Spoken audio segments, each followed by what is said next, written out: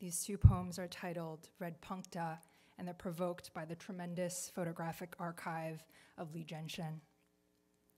Red Puncta. By negative space, by forgetting's lining, by background, fabric where things seethe, where fugitive looks and tongue trees scrape open loose seams.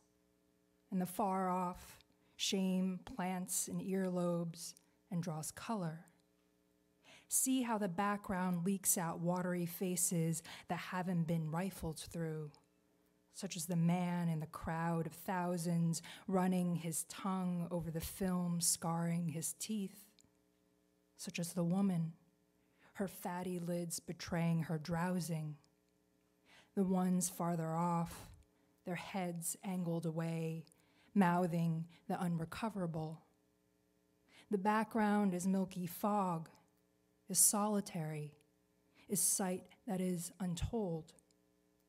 Edge closer. Friction from the future lies in the folds. Red puncta. Of the foreground, we will not speak. Look past the blotted figures, stiff line that parts glaucous air from ground's teeth. Forfeit faces, a light instead on the thin twine that screws hands together. Gelid landscape, chromatics at life's edge, those pant bottoms burnished to a peasant gray. Harbin in the deepest of winter, eight stripped trees matching eight individuals on their knees.